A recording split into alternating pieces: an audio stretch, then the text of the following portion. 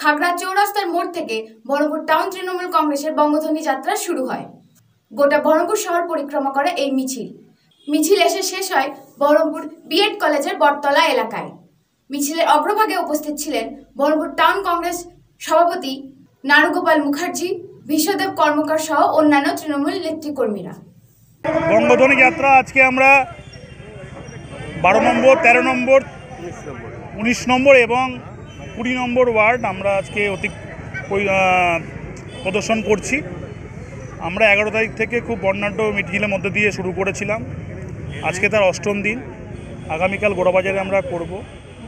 আমাদের এই বঙ্গধ্বনি যাত্রার কর্মসূচির যে মূল উদ্দেশ্য, সেটা আমরা সবাইকে বোঝাচ্ছি, বলছি যে সরকারের মাননীয় মুখ্যমন্ত্রী ন বছর অতিক্রম করার পর যে রিপোর্ট কার্ড উনি তৈরি করেছেন, সেই রিপোর্ট কার্ডগুলো আমরা প্রত্যেক হাউস টু হাউস দিচ্ছি কারণটা এইরকম রিপোর্ট কার্ডের মধ্যে দিয়ে টোটাল একষট্টি রকম যে স্কিম আছে, এই স্কিমগুলো যাতে মানুষ আরও বেশি করে পেতে পারে এবং প্রত্যেক মানুষকে এই স্কিমের আয়ত্তে নিয়ে আসা আমাদের সরকারের মূল উদ্দেশ্য। সরকার মাননীয় মুখ্যমন্ত্রীর নেতৃত্বে তার অ্যাডমিনিস্ট্রেশন দিয়ে দুয়ারে সরকার নামক যে ক্যাম্পগুলো করছে, সেই ক্যাম্পে যাতে বেশি করে মানুষজন জমায়েত হতে পারে, যেতে পারে এবং সব মানুষের অনেকের সমস্যা থাকে। কী সমস্যা থাকে অনেকে বুঝতে পারে না, অনেকে পৌঁছায় না মেসেজ পৌঁছায় না। অনেকের যে যাওয়া অসুবিধে আছে ট্রান্সপোর্টেশন সমস্যা আছে, এগুলোকে কভার করতে গেলে পরে একটা রাজনৈতিক কর্মকাণ্ডের দরকার হয় এবং রাজনৈতিক সার্ভিসের দরকার হয়।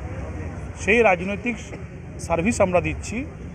একদিকে মাননীয় মুখ্যমন্ত্রীর দুয়ারে সরকার, তাতে সরকারকে যারা ভোট দেয় বা সরকার যারা না ভোট দেয়, আমরা পরিষ্কার, আমরা তৃণমূলকে শুধু তৃণমূলের প্রোগ্রাম, সরকারি প্রোগ্রাম, প্রত্যেক মানুষকে বলব, সেই সরকারের যে প্রদেয় কর্মসূচি যেগুলো আছে, সেগুলোকে আপনারা যান এই দায়িত্বভুক্ত হন, তাতে আখায় আপনাদেরই লাভ। সমাজ ভালো থাকলে আমাদের সরকার ভালো থাকবে, সরকার ভালো থাকলে পরে সমাজ ভালো থাকবে, সব, সবই একে অপরের পরিপূরক। সবাইকে নিয়ে কাজ করার যে আমাদের উদ্দেশ্য, সেই উদ্দেশ্যকে সফল করার জন্য রাজনৈতিকভাবে আমরা তার কর্মসূচি রূপায়ণ করছি এবং আমাদের মধ্যে আমরা সকল নেতৃত্বকে পেয়েছি, অপূর্ব দত্ত মহাশয়, ডিস্ট্রিক্ট লিডার উৎপল দা, অশোক দা থেকে আরম্ভ করে নবপাল, আরও আইজুদ্দিন সাহেব, ব্লক প্রেসিডেন্ট আমাদের পূর্ব ব্লকে। সবাই মিলে একযোগে আমরা যাত্রা শুরু করেছি। এই যাত্রা একুশ তারিখ সমাপ্তি হবে এবং পরবর্তী যে কর্মসূচিগুলো হবে, আমাদের মূল উদ্দেশ্য মানুষকে এই আয়ত্তায় নিয়ে আসা। সরকারের বিভিন্ন সুবিধা আয়ত্তে নিয়ে আসা। হেলথ কার্ড যেগুলো হচ্ছে হেলথ কার্ড অলরেডি এখনও পর্যন্ত প্রায় পঞ্চাশ হাজার ফর্ম অ্যাপ্লিকেশন হয়েছে। ভীষণ রেসপন্স দুয়ারে সরকারে দেখছেন এখানে দুয়ারে সরকারে একটা অভিনব প্রচার একটা।